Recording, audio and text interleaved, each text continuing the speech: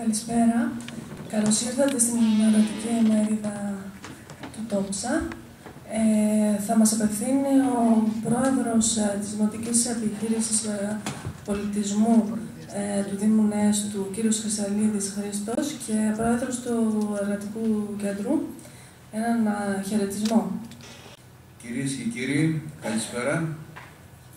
Εκ μέρους του Δημάρχου Νέστου, του κύριου Σάβα Μιχαηλίδης, σας μεταφέρω τους ε, χαιρετισμούς όπου λόγω ηλυμένων υποχρεώσεων δεν μπόρεσε να παρευρεθεί.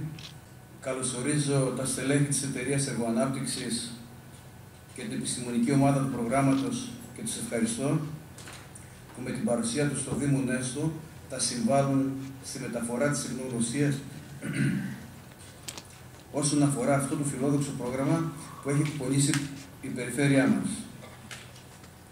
Από την πλευρά μας, η φωτοδρομή με τα στελέχη της, αλλά και όλος ο Δήμος Νέστου, δεσμεύεται για την κινητοποίηση του σχετικού δυναμικού και των ομάδων στόχων, ούτως ώστε να επιτευχθούν τα καλύτερα δυνατά αποτελέσματα.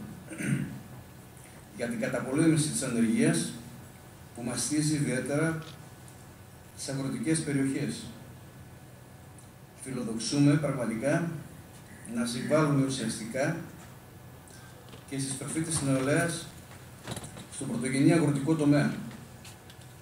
Τομέας που μπορεί να συμβάλλει τα μέγιστα για την ανάπτυξη στο σύνολό της τόσο του Δήμου μας όσο και της περιφέρειας.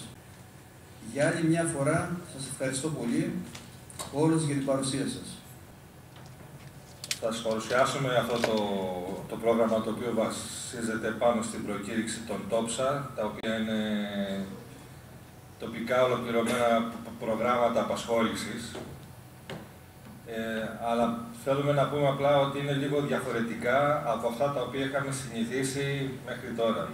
Δηλαδή, δεν απευθύνεται σε ανέργους οι οποίοι θέλουν να βρουν δουλειά και να τους κάνει ένα σεμινάριο είναι ότι θα πάμε να παρακολουθήσουμε ένα σεμινάριο, θα πληρωνόμαστε την ώρα κάποια ευρώ, θα πάμε και σε μια πρακτική, σε ένα φίλο, σε ένα γνωστό, σε κάποιους που είναι συμβαλόμενους με το ΚΕΚ που κάνει το σεμινάριο και έτσι θα περάσει η περίοδο, θα πάρουμε ένα εισόδημα και θα καλύψουμε τις βασικές μας ανάγκες που είναι πολύ σημαντικές.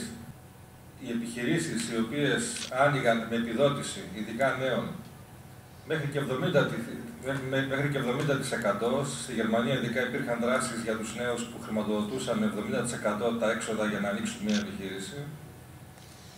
Μέσα σε πέντε χρόνια έκλεινε το 60 με 70%.